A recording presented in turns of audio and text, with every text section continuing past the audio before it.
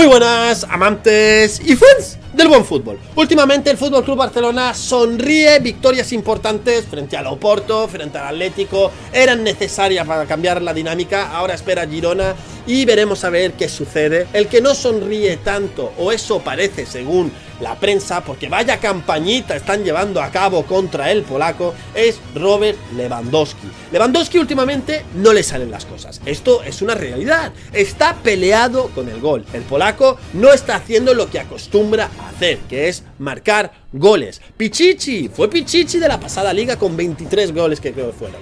Benzema se quedó ahí. En el segundo plano fue traerle un delantero potente y Benzema dejó de ser Pichichi otra vez. Fue Robert Lewandowski, junto a la defensa menos goleada con un Zamora como Ter Stegen. Por lo tanto, fue figura clave porque muchos de sus goles fueron claves para que el Barcelona se proclamara campeón de liga. Pero a día de hoy la suerte del gol no le sonríe, no la tiene de cara. Y en Polonia han estallado con el caso Lewandowski. Ya sabéis que está sonando el run run, el chinguito también lo decía, que posiblemente estudien una venta de Robert Lewandowski a la MLS, a Arabia Saudí y en Polonia no se han quedado nada conformes con esto y han soltado peste de lo lindo sobre el Fútbol Club Barcelona.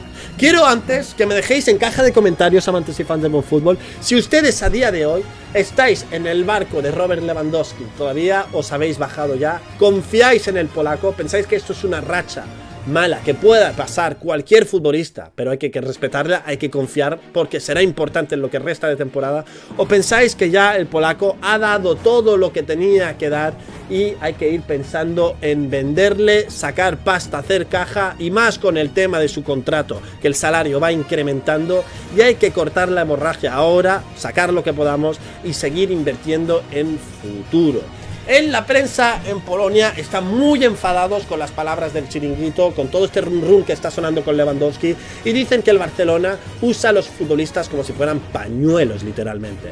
Los usan y después cuando ya no sirven o dejan de ser máximo prime, los tiran a la basura, les pegan la patada. Ponen a Luis Suárez de ejemplo y ahora usan el ejemplo de Lewandowski. Les prometen dinero, porque les prometen dinero, pero como no pueden pagar todo de un momento, sabemos que la situación del Barcelona es delicada, le prometen dársela en más temporadas con esto del sueldo incrementándose. Pero claro, ese momento no llega porque el Fútbol Club Barcelona te pega la patada, te venden a otro club y se limpian las manos.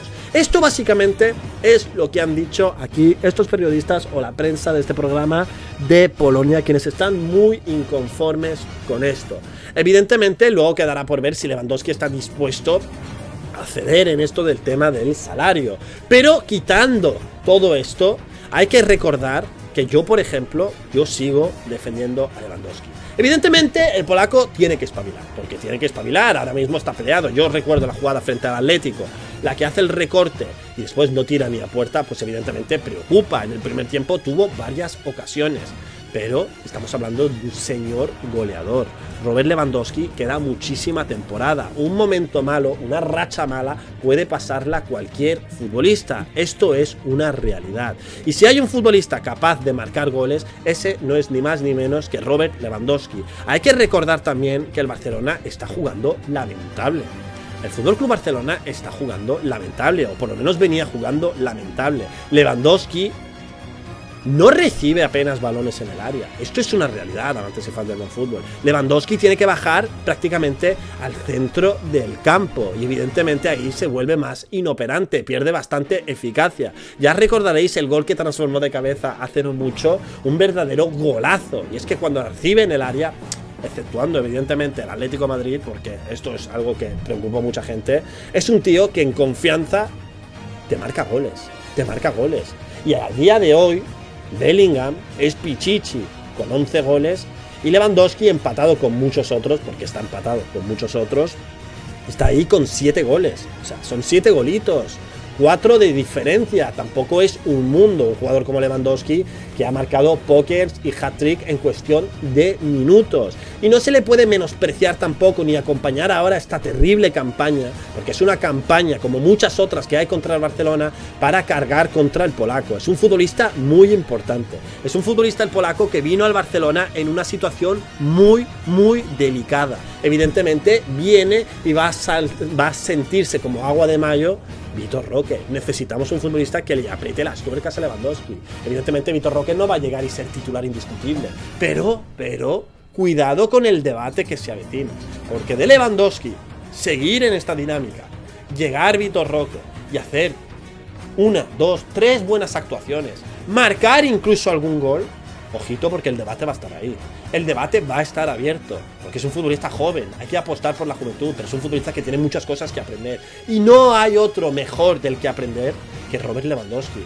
Un tío que ha marcado salvajadas de goles, números escalofriantes, que evidentemente si los comparamos a los Cristiano Messi, pues no se igualan. Pero es un tío que ha marcado muchísimos goles. Un futbolista que dentro del área es letal. Y de cara a lo que resta de temporada, que queda mucha temporada, es un futbolista a tener en cuenta. Y es que se le está machacando mucho. Recordaréis el suceso de que ignoró a Xavi. Evidentemente, yo creo que hay cierta inconformidad o molestia en algunos momentos el hecho, el incidente con la niña mal, cómo se machacó a Lewandowski, cuando aquí dijimos, lo hemos podido ver, que es un tío que siempre ha defendido y se ha llevado bien con los canteranos, con la niña mal el primero. Veíamos como Juanma Castaño se llevaba un calcetín en la boca por parte de José Lu del propio Lewandowski. Aquí en España les gusta mucho hablar, tergiversar. Y evidentemente la campañita está en marcha. Por no hablar, por no hablar de las agresiones. Sí, de las agresiones que tiene que sufrir Robert Lewandowski. Eh, lo del otro día frente al Rayo, el agarrón este que le hacen, ¿qué, ¿qué demonios fue eso? No entraron ni a revisar. Pienso en el partido frente al Getafe, la de patadas, la de golpes que se tuvo que llevar el polaco y fue impresionante también la de faltas que no le pitan, cómo se tiene que pelear con todas las defensas y encima con un arbitraje tan lamentable. Evidentemente son muchos factores los que están entrando y ninguno acompaña. Pero yo sí soy partidario de que hay que apoyar a Robert Lewandowski. Yo del barco del polaco no me bajo todavía. Evidentemente, evidentemente, de continuar un nivel así tan bajo, tan poco efectivo de cara a puerta, evidentemente llegando una oferta buena, el Barcelona tiene que plantearse si venderlo o no, tiene una edad, su salario es muy alto, porque es muy alto, y de no dar la talla, oye, también hay que decir, porque hay que decirlo, aunque duela, esto es un Fútbol Club Barcelona. Esto es un Barcelona, un Real Madrid. En estos clubes el nivel de exigencia es el máximo y uno sabe a lo que viene. No está permitido quedarse dormido en los laureles y esto es una realidad. Y más el Fútbol Club Barcelona que necesita dinero.